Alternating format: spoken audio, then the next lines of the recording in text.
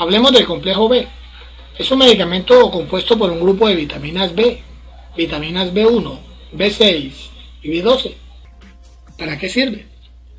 El complejo B contribuye a aliviar molestias corporales, como la debilidad muscular, hormigueos, sensación de quemazón y calambres, así como en déficit nutricional, anemia ferropénica crónica, anemia veganoblástica, y en casos de neurastenia o estrés, y para evitar la pérdida de mielina por la edad.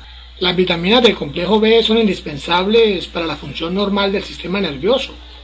Está indicado como tratamiento de trastornos dolorosos, como tortícolis, neuralgia facial, nulvalgias, ciática, neuropatía diabética y radiculitis. Las vitaminas mantienen el correcto funcionamiento del organismo. Son las encargadas de la formación de tejidos, células sanguíneas, hormonas y sustancias químicas del cerebro.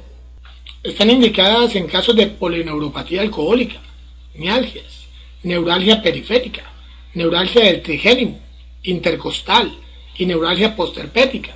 Está indicado en casos de neuropatías por deficiencia de vitaminas B o malestar de un nervio pisado, discopatías en la columna, dolor muscular y rectificación cervical. Las vitaminas del complejo B intervienen en el metabolismo de todas las células del organismo, muestran actividad importante en la hematopoiesis y en el funcionamiento de las células del sistema nervioso. Precauciones. Se debe tener precaución antes de usar este medicamento. No tome más de un multivitamínico a la vez o más de la cantidad que le hayan recetado. Grandes dosis de vitaminas pueden llegar a ser peligrosas. Diga a su doctor si es alérgico, si está tomando otros medicamentos. No debe utilizarse sin supervisión médica en caso de insuficiencia renal o hepática. Se han registrado neuropatías con el uso prolongado de piridoxina. Los pacientes con diabetes mellitus deben saber que contiene lactosa.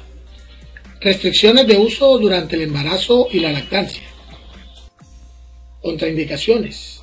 Este medicamento no debe usarse en algunos casos, como hipersensibilidad al medicamento, no en hipersensibilidad al medicamento, ni en personas menores de 14 años.